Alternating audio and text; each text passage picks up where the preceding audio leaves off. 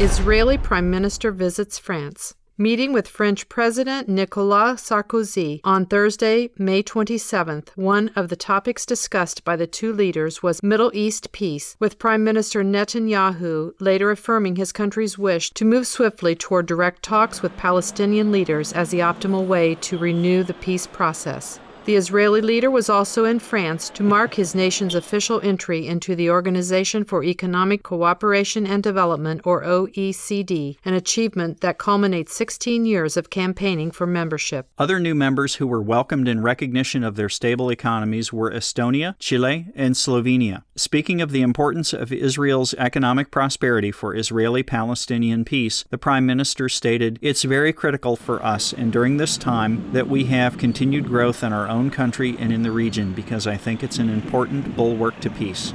The economic peace that we're seeking to fashion with our Palestinian neighbors can help sustain the political peace and actually keep it once it's formally achieved. Our respectful congratulations, Your Excellency and Israel, for your productive visit and your country's new membership in the Organization for Economic Cooperation and Development. May these efforts bring much benefit to fellow citizens and lead to lasting peace for Israelis and Palestinians alike.